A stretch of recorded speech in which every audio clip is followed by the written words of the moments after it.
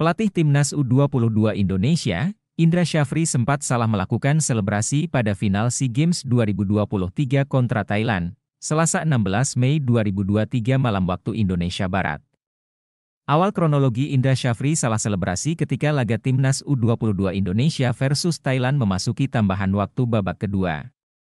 Kala itu, Timnas U22 Indonesia masih mengungguli Thailand dengan skor 2-1. Namun pada tambahan waktu 7 menit, pertahanan timnas U22 Indonesia sering mendapatkan serangan dari kubu Thailand yang ingin menyamakan kedudukan. Puncaknya pada menit 96, Bagas Kava terjatuh di tengah lapangan akibat berebut bola udara dengan pemain Thailand yang bernomor punggung 11. Pemain Thailand yang diketahui bernama Anan itu dikartu wasit setelah duel tersebut. Bagas Kava pun mendapatkan perawatan dari tim medis timnas U22 Indonesia sekitar satu menit.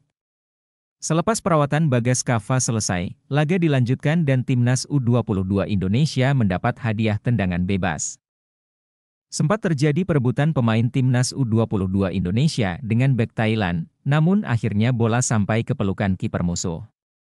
Nah kiper Thailand yang bernama Soponwit Rakyat menendang bola ke rekannya berposisi fullback. Bola itu dijangkau rekan Soponwit dan berusaha membawanya ke tengah lapangan. Hal ini membuat salah satu pemain timnas U22 Indonesia mendekatinya untuk menghadang.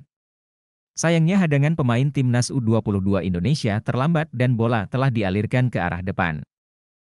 Aliran bola mengarah ke sisi kanan pertahanan timnas U22 Indonesia. Striker Thailand bernomor punggung 9 yakni Yotsakorn Burapha menerima umpan itu dan berusaha melewati dua hadangan bek timnas U22 Indonesia. Usaha Yotsakorn kandas dan bola keluar lapangan. Setelah bola keluar, peluit wasit dibunyikan sebagai tanda pelanggaran. Namun ofisial timnas U22 Indonesia yang berada di pinggir lapangan mengira pengadil lapangan membunyikan peluit panjang. Sontak Indra Syafri berlari ke tengah lapangan menghampiri para pemainnya untuk merayakan kemenangan. Kesalahpahaman ini langsung membuat wasit membunyikan peluit berkali-kali dan tangannya meminta ofisial timnas U22 Indonesia keluar dari lapangan. Sebab wasit merasa belum meniupkan peluit panjangnya. Isyarat wasit tersebut akhirnya didengar Indra Syafri dan ofisial lainnya.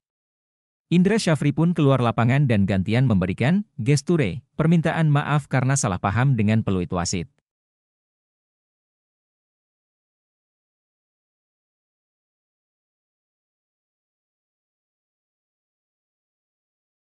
Terima kasih telah menonton. Jangan lupa like, share, subscribe, dan klik lonceng ya.